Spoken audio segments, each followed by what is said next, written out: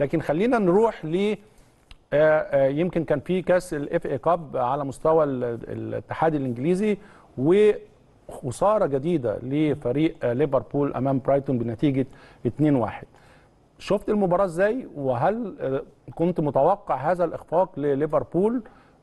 ليفربول على مستوى الدوري سيء جدا على مستوى كمان خروجه من آه، يمكن ده الدور الثالث لسه بعيد جدا على في البداية. آه، يعني إنه يخرج من هذه الأدوار لكن شايف إزاي ليفربول الموسم ده وكمان دور محمد صلاح آه، في الفريق في هذا في هذا الموسم. أنا شايف سر ال- الهزيمة أو الإخفاق لليفربول بادئ من عند يورجن كلوب شخصيا. يورجن كلوب والتخبط اللي إحنا بنشوفه حتى في تصريحاته آه، بحس إن هو بدأ يصبح متوتر ما بقاش فيه تركيز كبير جدا.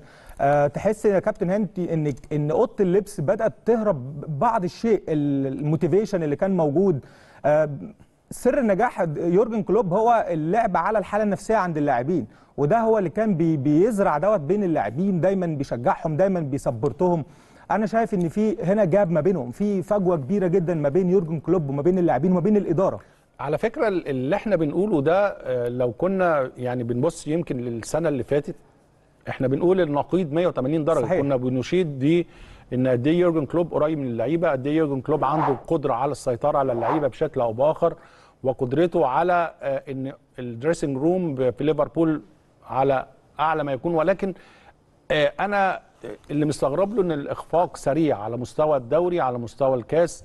ففي في مشاكل كبيرة على مستوى الإدارة الفنية ليورجن كلوب يعني. طبعا في مشاكل كبيرة جدا في طريقة اللعب.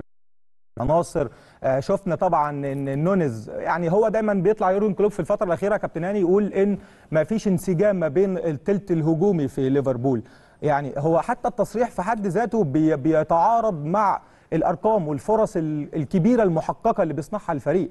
يعني نونز شفنا يعني أخفق في 15 فرصة محققة. ثم محمد صلاح بيأتي بعده في الترتيب ب 12 فرصة محققة هذا الموسم. هنتكلم على صعيد ال Premier League. ليفربول عنده مشكلة خطيرة جدا.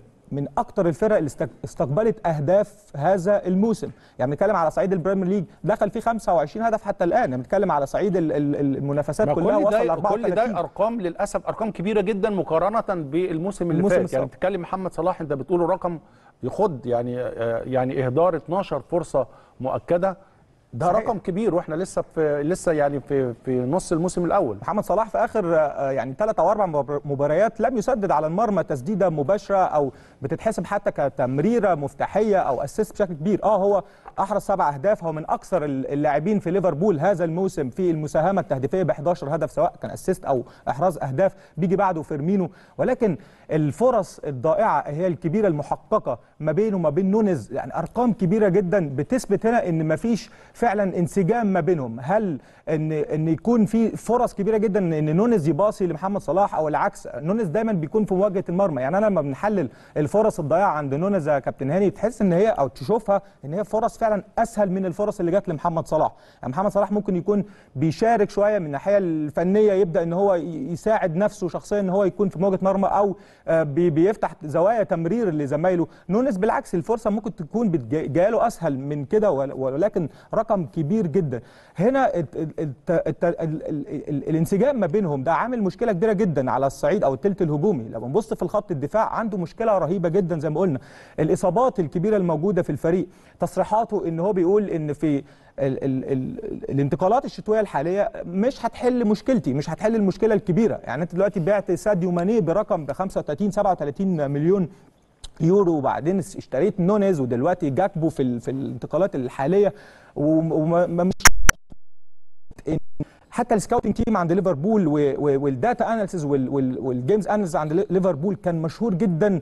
بان هو من اشطر ال- ال- صحيح. الاقسام في اختيار اللاعبين based على ال data والتحليل وهكذا. فانا شايف ان اختيار ال- الاخير غير موفق وخاصة في ضخ اموال كبيرة جدا لما توصل ل 150 مليون في في صفقتين مقابل خسارتك لساديو ماني برقم صغير جدا. آه، كان في انسجام ما بين الخط الثلاثي اللي قدام مش عايزين نقول ان غياب أو رحيل ساديو ماني هو السبب الأساسي ولكن أنا بتكلم دايما ليفربول. بالانسجام اللي كان حاصل بال motivation وال support النفسي قبل الفني والت- والت- وال technical وكل الكلام ده من يورجن كلوب هو سر النجاح اللي حاصل ما بين الكتيبة كلها. آه، غياب جوتا للإصابة غياب آه، يعني دياز للإصابة لفترات طويلة الكانتارا في تذبذب كبير جدا في آه، آه، يعني في الخط الدفاع زي ما شفنا يورجن كلوب بيعاني أيضا. أنا شايف إن في حاجة ما بينهم ما بين الإدارة الإدارة لم تساعد يورجن كلوب. أنا كنت هاجي لك في النقطة دي لكن كمان إحنا بنتكلم دايما على ليفربول. لازم سيرة محمد صلاح نجمنا الكبير. وجريدة أو صحيفة الجارديان هي بتعمل تقرير سنوي على أفضل اللاعبين خلال آه، في نهاية السنة. آه، كان دايما بنشوف محمد صلاح في هذا الترتيب من الأوائل يمكن من الثلاثة الأوائل الخمسة الأوائل. لكن معانا تقرير نشوف كمان تقرير الجارديان وترتيب محمد صلاح خلال موسم كارثي بالنسبة لليفربول. وقد إيه؟ إحنا بنتكلم إن كرة القدم لعبة جماعية ومفيش لعيب في العالم ممكن يشيل فريق لوحده. ال curve بينزل للفريق ال total الفريق أكيد محمد صلاح أكيد غصب عنه كمان هيبقى ال curve نازل على مستوى التهديف على مستوى الفرص.